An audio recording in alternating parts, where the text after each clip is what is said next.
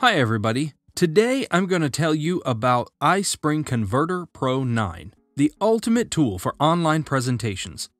You can find the Converter Pro tab right here on the PowerPoint ribbon and publish presentations to HTML5 or video format, which looks great on the web on any device while perfectly preserving all effects. Plus, you can enhance your presentations with audio narrations, customize with your company branding, and much more. If you head over to Preview, you can also see that your course works on different devices. Now, back here in the editor, I'll start by recording a quick intro with this Record Audio button. I can see the slide notes right over here, which I'll use as a script. Okay, let's go ahead and start recording. In this course, we're going to look at how to start working from home, arranging your space, tools, and mindset. Now that I'm done, I can go over here to Manage Narration and see how the audio clip fits in with my presentation. If I need to, I can edit the clip or change the slide timings. Back here on the toolbar, you can also add YouTube videos right on the slide, as well as web objects. A web object is like a live web page that you can put right in your presentation. For example, you might want to include a Wikipedia article for further reference.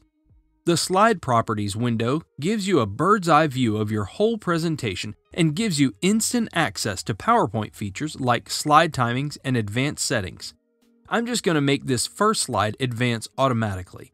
There's also a bunch of other stuff you can only do with iSpring, like configure unique branching scenarios, add presenters, change player layout, and add a background music playlist.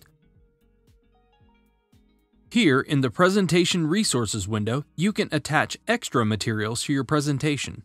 As you can see, I've attached a PDF file and added a hyperlink to the iSpring website.